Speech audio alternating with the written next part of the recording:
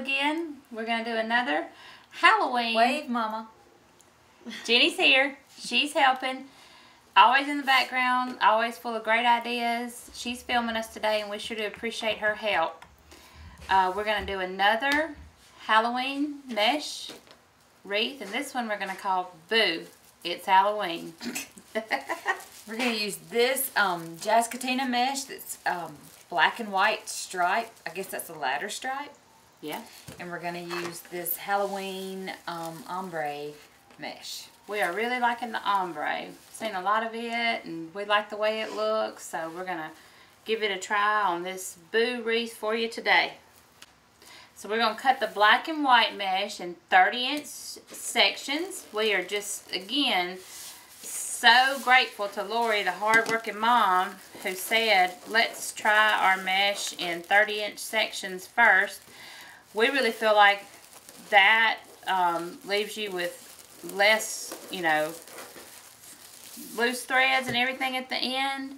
And we think a 30 inch section is going to work again on this wreath. And we just want to thank Lori, the hardworking mom, for that little tidbit. So we're going to do that one in 30 and we're going to do the ombre in 20 inch and stack them that way. Okay. Ruffles again. Is that just kind of C1?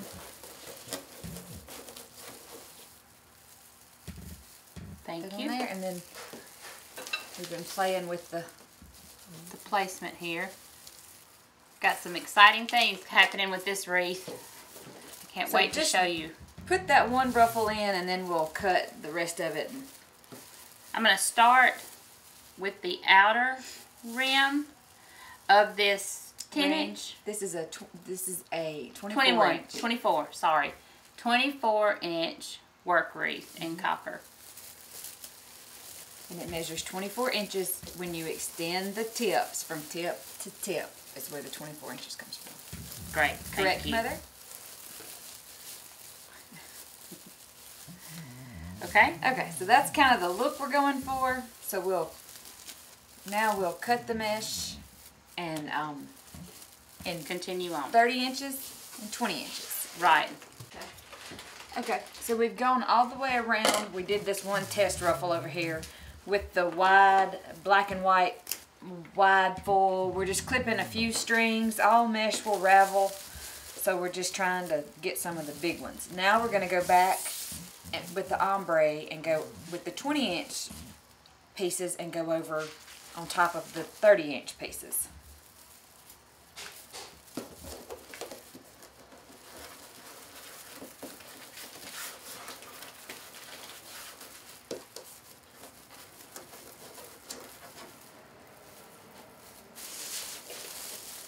We'll just open it back up and put this ruffle in on top of the black and white ruffle.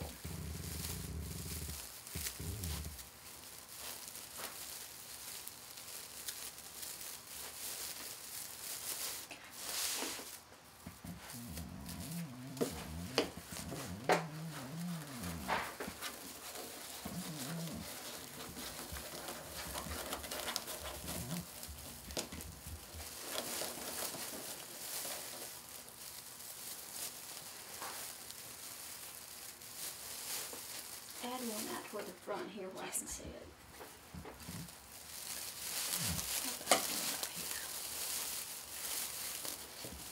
Just take it all the way, open it all the way to the center and put that one on the top.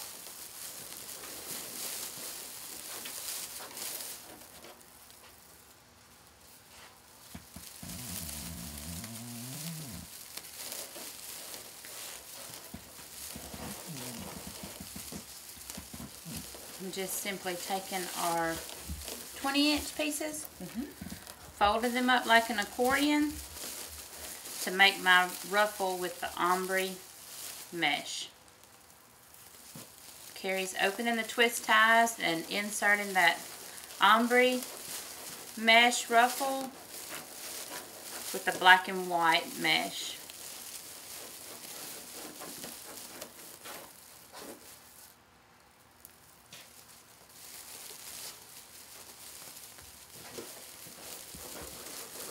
Okay, we're gonna go all the way around this wreath putting the ombre on top of the stripe. All right, next we want to add these indoor-outdoor lights.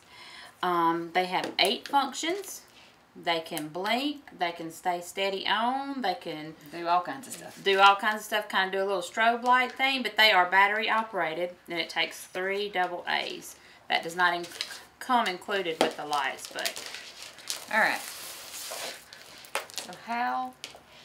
what we're going to do is I'm simply going to take my strand here of the lights, How many lights is on that strand? 48, mhm, and I'm just going to kind of weave it in and out of my twist tie. And I like that they're cool lights, not warm. I do too. We have a variety. And for this wreath with the black strand, I did pick the cool light. I normally I do like a warm light over a cool light, but now for this actual wreath, I wanted that look. So these are cool lights and they are on a black strand and they even have a timer. So if you can tell, I'm making Mama so proud. You read the box. and I really like the lights. They're available. She can't think of anything else she would add. They are available on Trendy Tree's website too. TrendyTree.com. Yep. I think we're gonna actually be able to include them in the kit. Oh, have to talk with Miss Jenny about that, but that's our goal. okay. Okay. So I'm just weaving my strand of lights all the way around, picking up a piece as we go through. I was not fired up about it, but I do kind of like it. I usually have to convince Carrie on some things. What's my famous saying? Just trust me. Yeah. yeah. That's hard sometimes.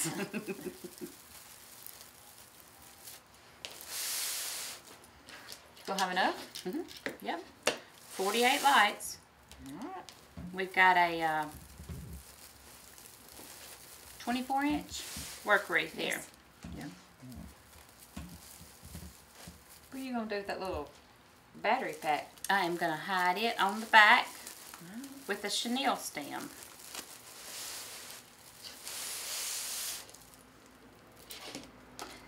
Alright. Going back around. So I will end the lights here at what will be the bottom of the wreath.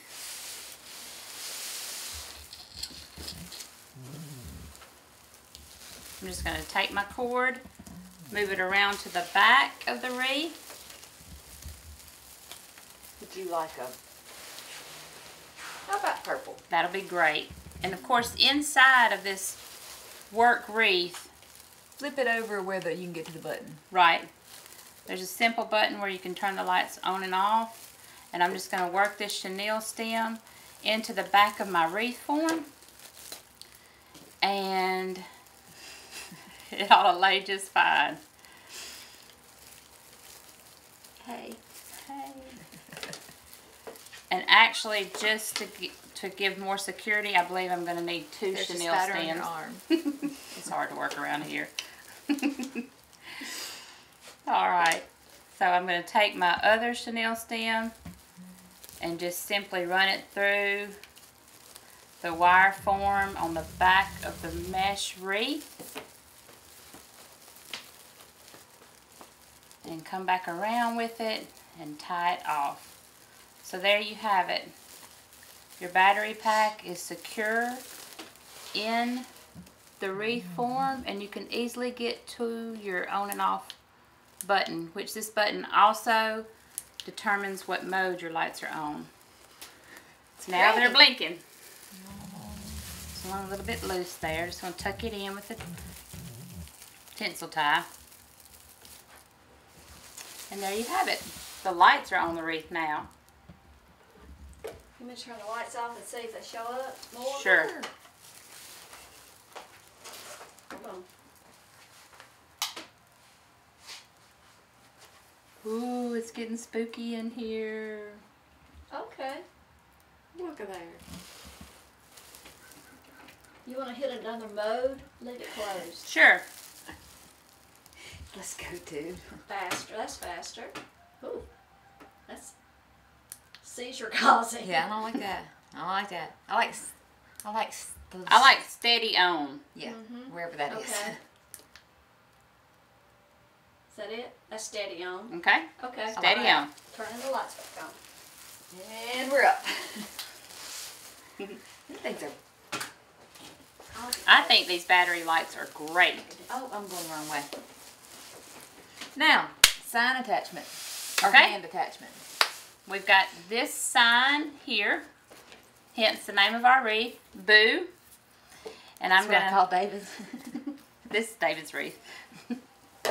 I'm gonna simply cut my tag off here. And the great thing about all these signs that most of them have some type of hanger. This has a, a ribbon hanger. So it's gonna make it really easy to just attach it into my wreath. Again, just with a twist tie.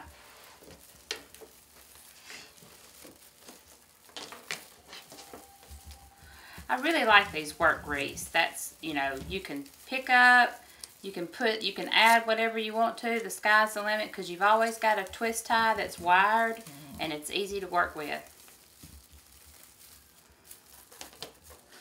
Plus, I feel like it gives a great look for Halloween, the color. I like it. So there's our boo. Now we're going to introduce the skeleton hands with the spider. So we've got our purple, our lime green, and our orange. But on the orange one, I've already broke off the hand at the wrist joint because I just want the hand to look like he's holding the boo sign. So I'm going to lay my other hands down with the scary spider. And I'm going to take um, just a simple piece of floral wire and run my floral wire around the thumb joint. Miss Jenny Probably put it through the hole of that of the bee. sign. Yep, there's a hole here in the top of the bee. So I'm going to run it through my wire through my thumb and the hole in the bee. And secure that on there with my floral wire. Okay, so we've got our hand and we've got our spider on our hand. Just gonna cut off my extra here on my wire.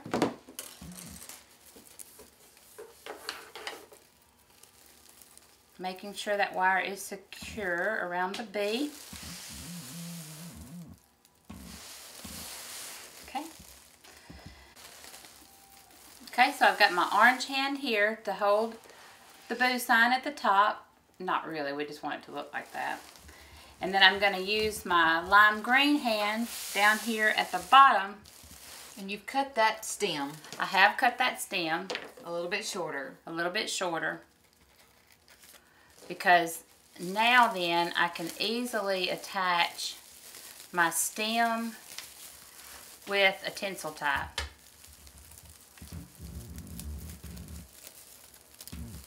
And that will secure the hand on the bee. There's a little light right there, so that's good too, from where we had put that light in the tinsel tie earlier.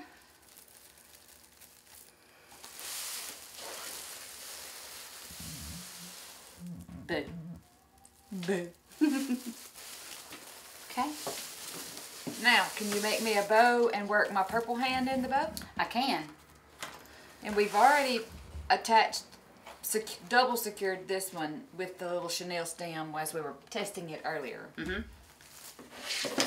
Shall I hang it on the wall while she makes the bow? Sure. I don't have a.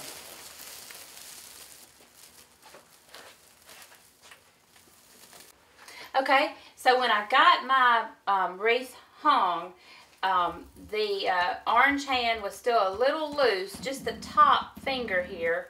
So what I'm going to do is go ahead and grab one of the fingers with my copper twist tie and it's a great thing because the fingers are coppery orange as well.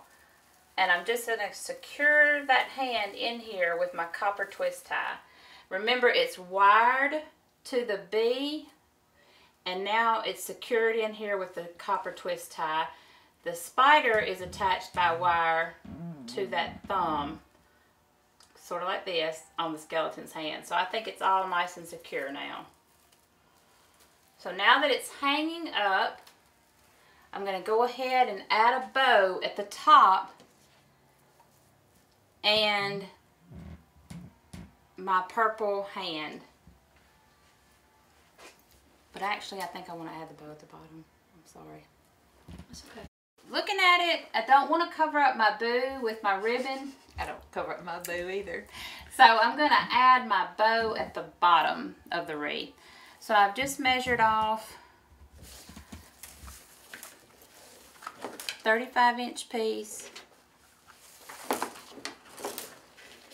and another 35 inch piece, Should be 70. which would be a total of 70. My math skills. Cut it at an angle here. And I'm going to take one loop, leaving my tail, That's easy. second loop,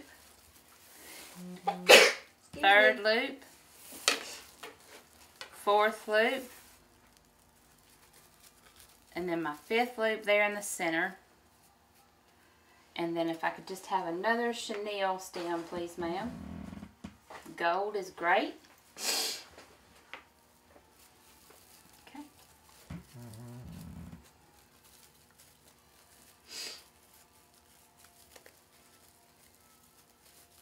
I've never seen you make a little bow. Well, I just figured we have a lot We got a lot, and I like it. Mhm. But normally you like bigger.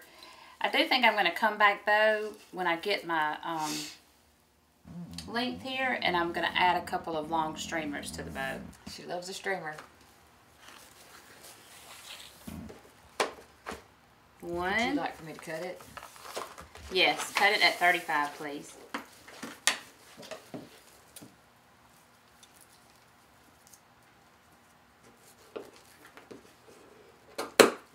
Okay.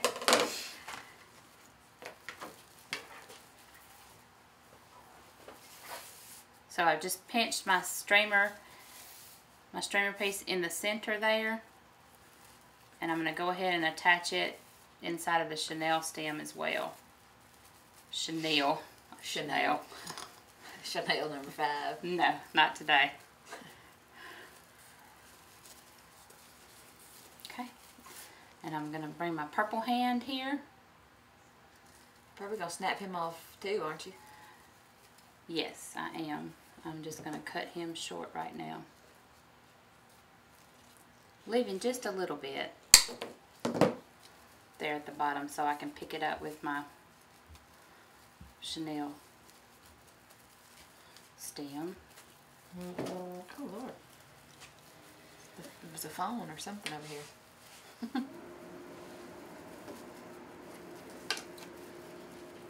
Okay. I've got my hand secured in the center of my bow. My streamers. I'm just going to attach it here. Okay. Sorry. Would you like for me to lay it down on the table? That's No? fine. That's good. I'm using my gold chenille stem. I'm just going to simply attach my bow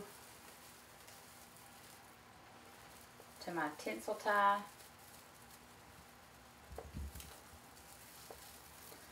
And then I'm going to make sure that my hand does, will stay in place with that same tinsel tie.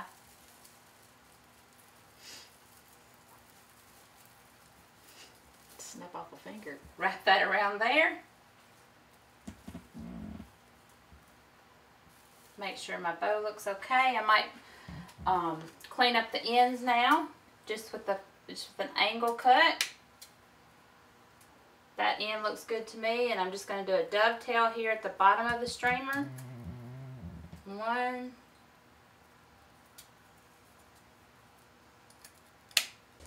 All right. Well, that looks good. We're gonna put this one in a kit. Um, it measures about 27 inches across. Um, and we like it. All the supplies came from Trendy Tree, and Mom will start working on the. You should have the link to the kit. Thanks. Thanks for watching.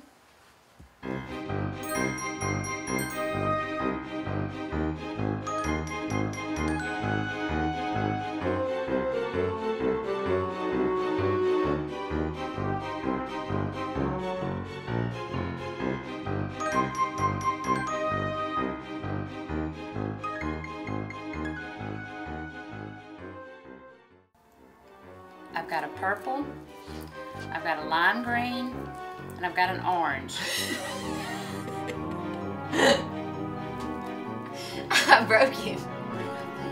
We're gonna use it. They sometimes they break. It's okay. It happens. Well, you can cut all this out, don't you?